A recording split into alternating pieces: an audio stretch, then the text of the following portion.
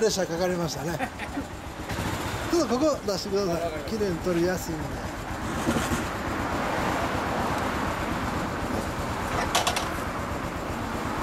えこれどこのマフラー？これはテイト。あフェイトさんの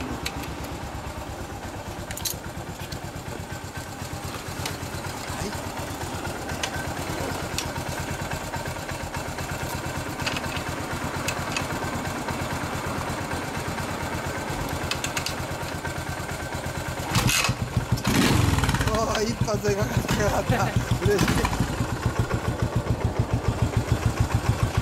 気づけていってくださいまたお待ちしてます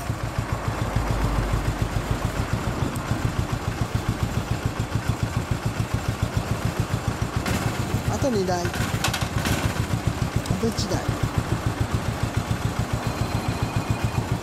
はいどうぞ